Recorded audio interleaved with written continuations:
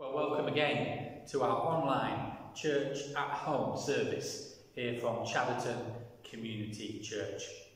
For those of you who have been back to school or work this week, I especially hope that you have had a good week.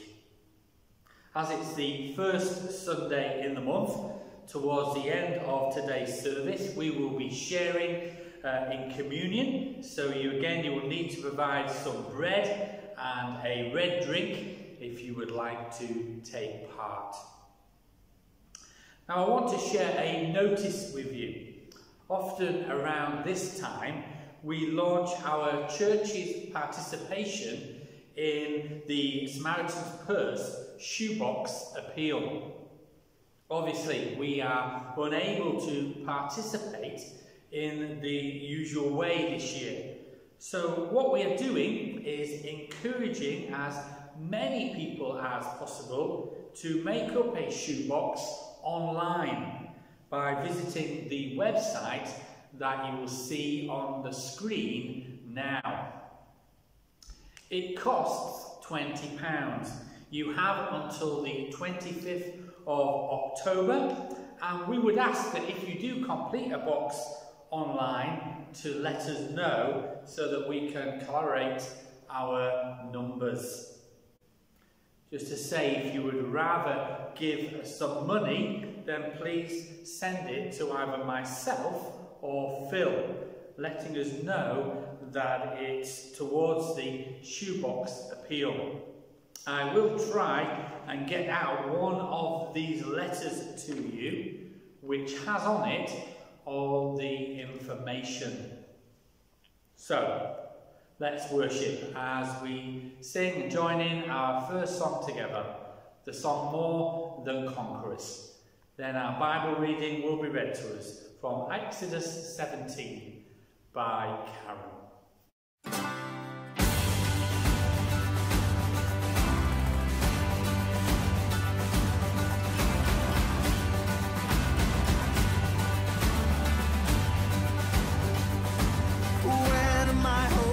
Strength is gone. You're the one who calls me on. You are the life, you are the fight that's in my soul. Oh, your resurrection power burns like fire in my heart. When waters rise, I lift my eyes up to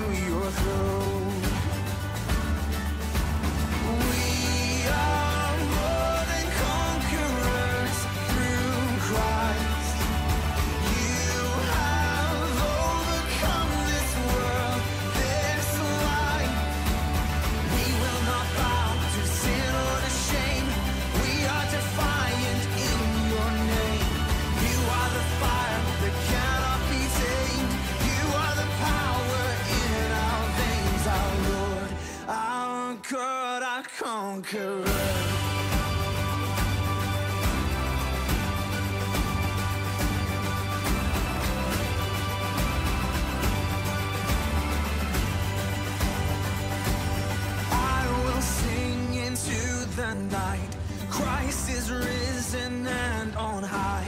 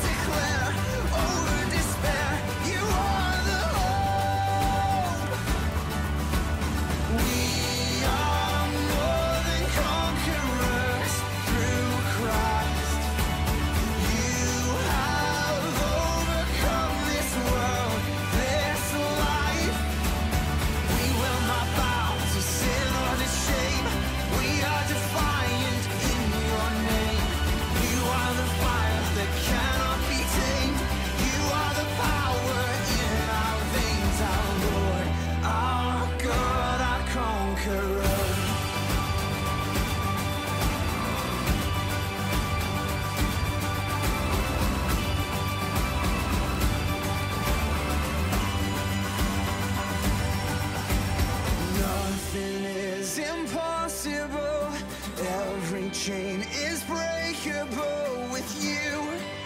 We are victorious. You are stronger than our hearts. You are greater than the dark. With you, we are victorious.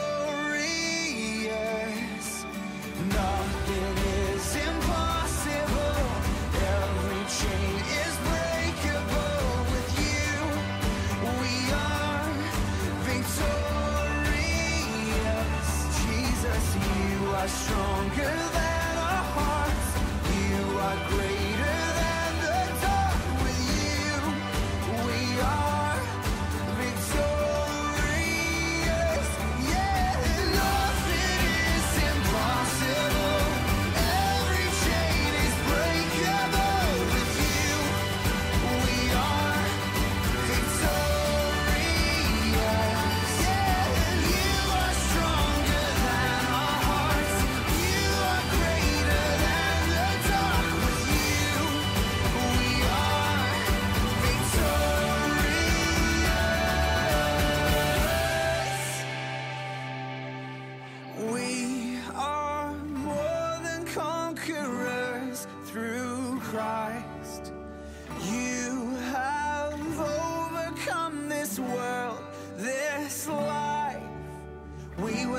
bow to sin or to shame. We are defiant in your name. You are the fire that cannot be tamed. You are the power in our veins, our Lord,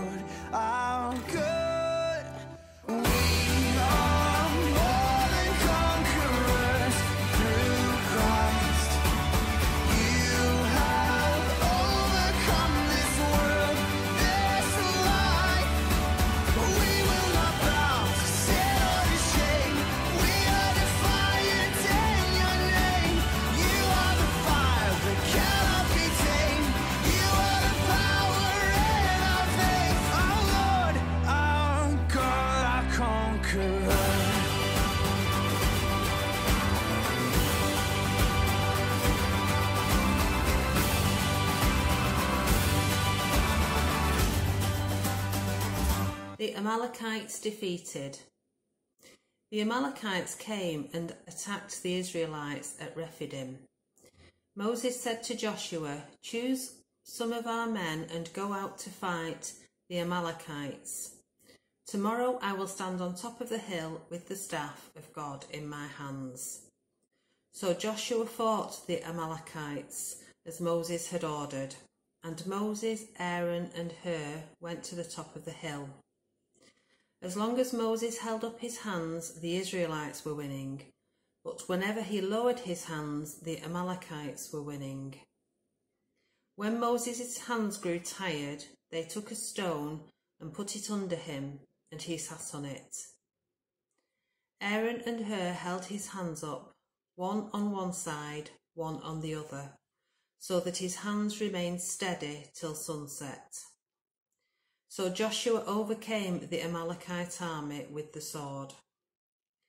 Then the Lord said to Moses, Write this on a scroll as something to be remembered, and make sure that Joshua hears it, because I will completely blot out the memory of Amalek from under heaven. Moses built an altar and called it The Lord is my banner. He said, For hands were lifted up to the throne of the Lord. The Lord will be at war against the Amalekites from generation to generation. Now I'm sure that you have heard the saying, put your hands up.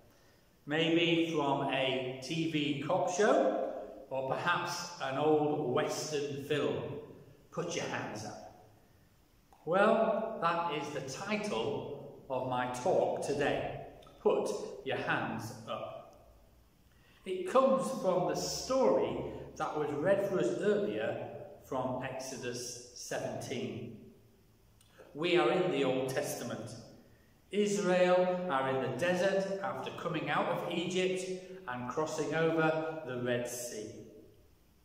Here we read that Israel come under attack from the Amalekites. So Moses tells Joshua to take some men and go and fight. while he climbed to the top of a hill to overlook the battle. Aaron and Hur go with Moses. Then we have verse 11.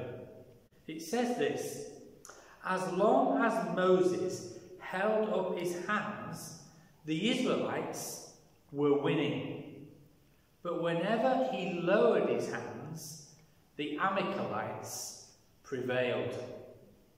I want to say three things about that story today. The first is this lowering tired hands. You know, when I read this passage, it reminds me of another TV program from the past The World's Strongest Man. I wonder if you remember it. I think Geoff Capes used to represent the UK in it. One of the tests of strength was to hold out in front of you a heavy weight as long as you could. Over time, the muscles would begin to strain. It would get harder and harder to keep your hands up until eventually they would drop. The last one to drop their hands was obviously the winner. You know, I wonder if you can feel like that in life sometimes, not just physically. We try and keep going. We try to remain strong. Maybe for ourselves, maybe for others. But as time goes by, it gets harder and harder and harder. We feel like our hands are starting to drop. Or perhaps other analyses are our heads start to drop. Our energy starts to drop. Our heart starts to drop. Our spirit starts to drop. We become tired and weary, maybe in our physical body or in our minds and emotions, in our spirit and faith. I think one reason for our loss of strength, for tiredness and weariness, could be the length that of the battle that we are in. I am sure that Moses hoped that the battle against the Amalekites would be over very quickly, so he didn't have to keep his hands up for very long. But it wasn't to be. Perhaps some of us feel that life has been a battle now for a long time. In our circumstances, perhaps in our relationships, in our health, and of course, more recently, through the effects of COVID 19. We hoped it would be over quickly. Who would have expected COVID 19 to dominate our lives for so long? But it has, and in many ways, it still does. It can feel like a long battle, and for some of us, it has made us tired and weary. Our hands are starting to drop. Just to say two things before I move on. For some people today, you need to hear again those words, the promise of Jesus in Matthew 11. He said this Come to me, all who are weary and burdened, and I will give you rest. Take my yoke upon you and lean, learn from me, for I am gentle and humble in heart, and you will find rest for your souls. For some, I believe, there is a need to find the space to allow yourself to rest in and with your God. To allow Him to lift the weight of the burden of the battle from you, at least for a time. To allow your God to lead you beside quiet waters so that He might refresh your soul as a good shepherd does for his sheep. And secondly, this. I felt as I was preparing this that a number of people who might be watching, one of the reasons that they are tired at the moment is because you are struggling with sleep. And perhaps for some of you, you have done so for some time. So, what I want to do now, just quickly, really, is just pray for you. Let me pray. Dear God, you know if anyone who is watching this is struggling with sleep. Maybe recently, or maybe they have done for some time. And because of this, they have become tired and weary. I pray now, God, in the name of Jesus, that you will break this cycle in them and help them at night to find peace and rest and good sleep, so that they may be refreshed fully for the next day ahead. Amen. So, my second point today who do you need to help you hold up your hands? Moses was a great Bible man of God. He is one of the heroes of faith. But he needed help, and he allowed himself to be helped. First, we all need help, sometimes. Even the strongest, physically, emotionally, spiritually, among us. I know we don't often like to admit it when we are struggling. We need to keep the British upper lip. We perhaps believe the lie that it is a sign of weakness. We might feel that we are letting people down, but this helps no one. Secondly, he allowed himself to be helped. Again, even if we admit that we need help, there is no guarantee we will allow ourselves to be helped. Again, we are often just not good at it. So, what do we do? Well, many of us will just try and cope on our own. Just keep going. Perhaps we'll try to hide it, hope it will go away, which of course it rarely does. And from my experience, it probably will just get worse.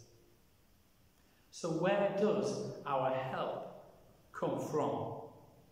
Well, just to mention three very quickly. The first is people. Who are our Aaron and Hurs? They were the ones who held up Moses' arms when they started to drop. Do we have people who will stand beside us?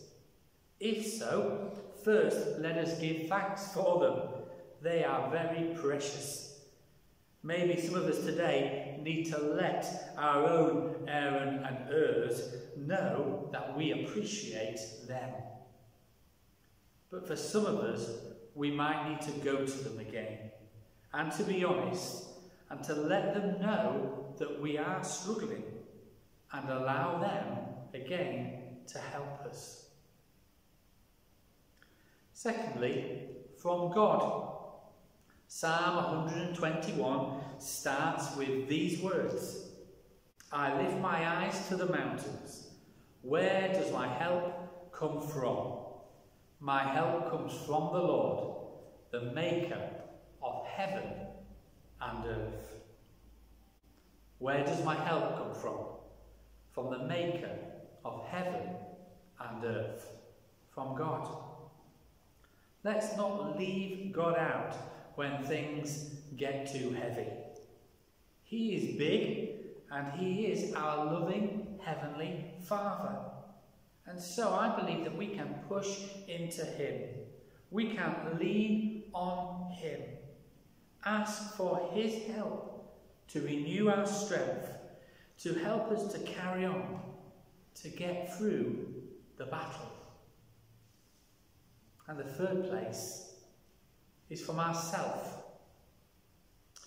You know, we might have to make some not easy to make choices. We might have to do something even when we don't really want to. We might have to push ourselves through a barrier. Just an example.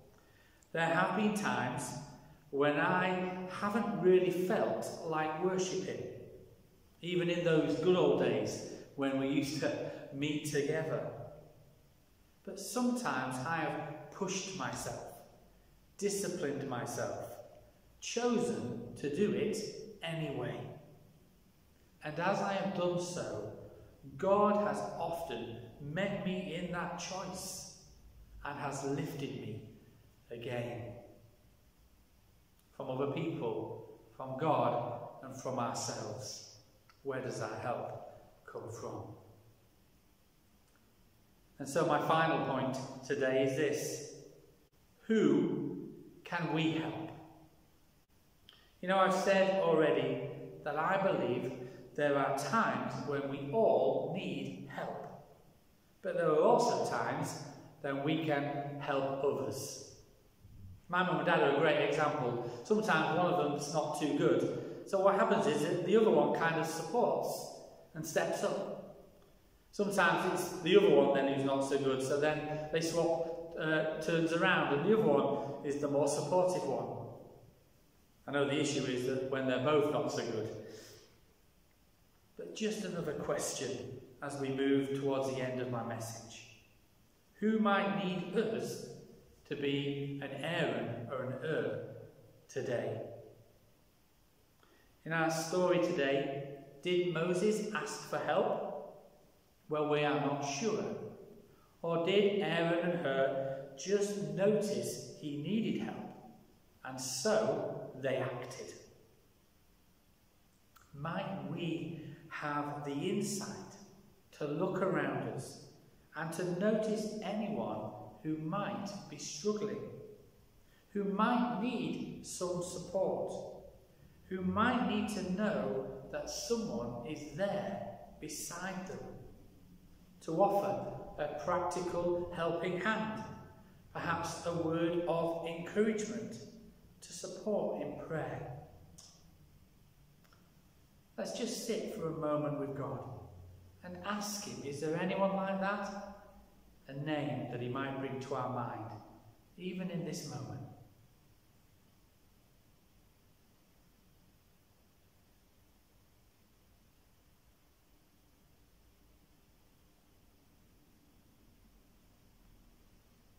You know what?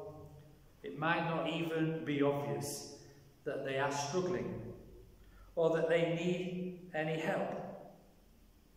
But in the end, even if we say, uh, send that encouraging text, and they're not struggling, it won't be wasted by God. I end with this. This story reminds me again that we all have a different part to play in the battle. Joseph, sorry, Joshua was on the front line physically. Moses was praying on the hilltop. Aaron and Hur, well, they were giving practical support. But remember, they all played an important part in the victory.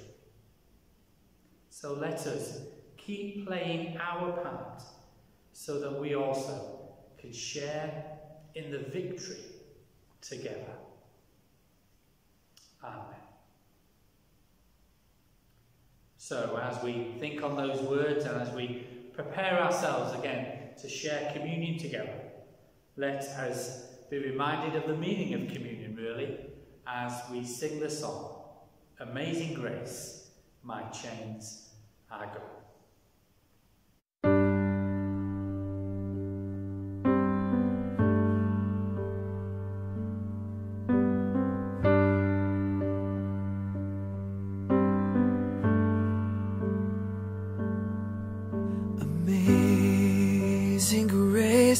How sweet the sound that saved a wretch like me.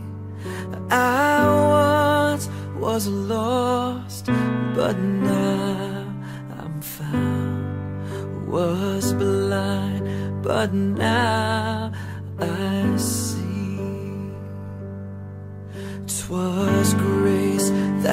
taught my heart to fear, and grace my fears relieved. How precious did that grace appear the hour I first believed my chains are gone.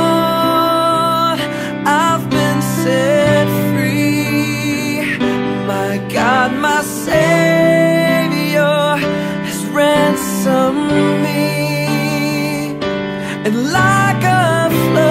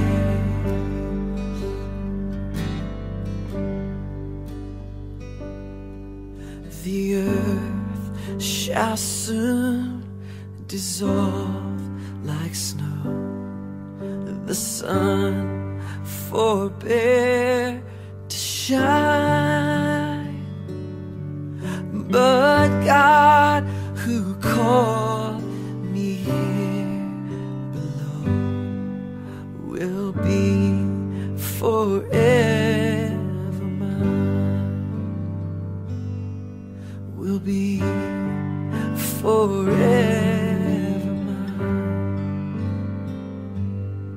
You are forever mine.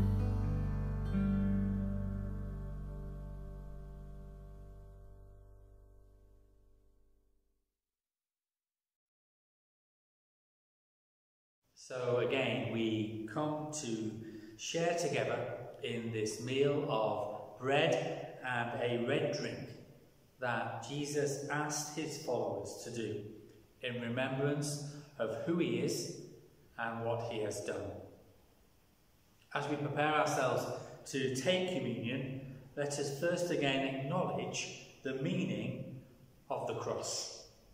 Romans 5, verse 8 says this But God demonstrated his love for us, that in this, while we were still sinners, Christ died for us.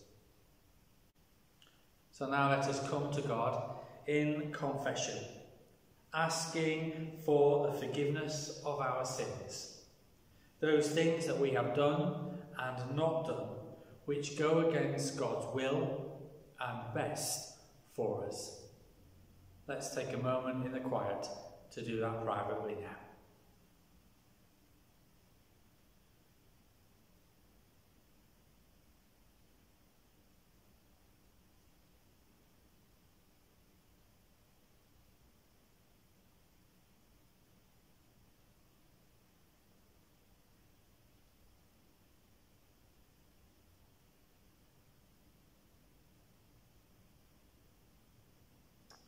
We thank you, God, again for your grace and mercy and for your love for us. Amen. You know, as we take communion together again today, I pray that God, by the Holy Spirit, will meet with you wherever you are. I especially pray that if God has spoken to you through the message today, perhaps you are tired. Perhaps the weight of the battle has caused your hands, your head, your heart, your energy, your spirit to drop. Then I pray that He will send His Holy Spirit to rest upon you, to refresh you and renew your strength and hope. So, now let us come to take the bread together.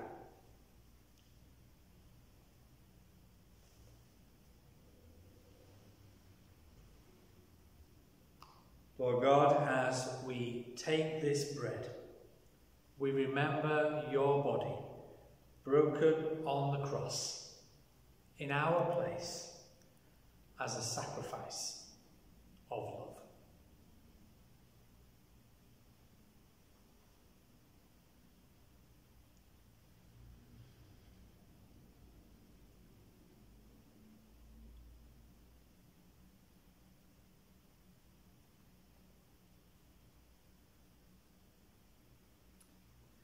So now let us drink together. Lord God, as we drink from this cup, we remember your blood was shed for us on the cross. And through your blood, today we are cleansed and rescued.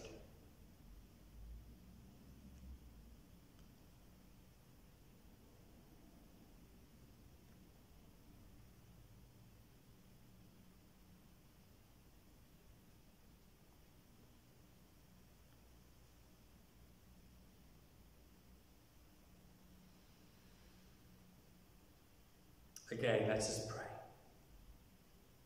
Just for a moment, God, we again say those powerful words Come, Holy Spirit.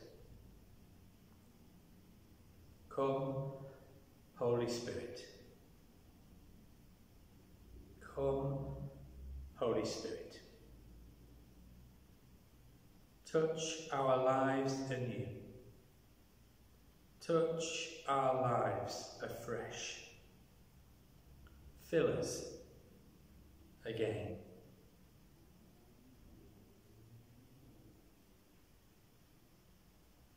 I lift my eyes to the mountain. Where does my help come from? My help comes from the Lord, the maker of heaven and earth. We thank you, God, for this promise to all those who call upon your name. We thank you that this is true for each one of us today. Amen. And so we're going to sing our final song, the song, The Lord's My Shepherd.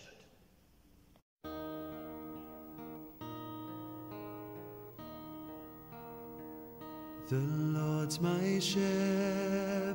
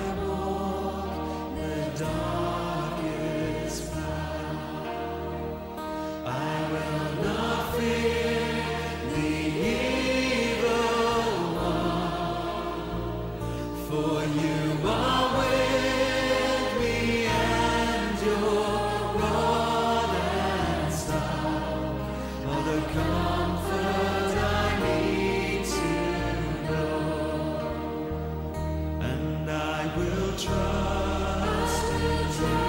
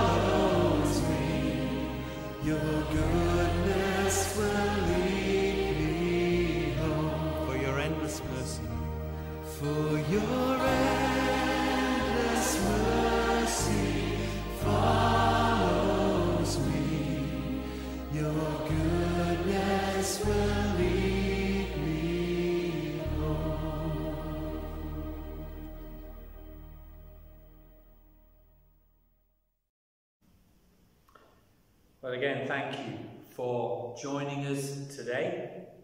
Let me finish with a Facebook post this week that was posted this week by Christine Cairn. It reads this Don't stop. Don't stop praying. Don't stop believing. Don't stop trusting. Don't stop hoping. Don't stop loving. Don't stop giving. Don't stop serving. Don't stop forgiving. Don't stop dreaming. Don't stop worshipping. Don't stop laughing. Don't stop learning. Don't stop growing. Don't stop. Pray that you will take those words into your week. So, God bless.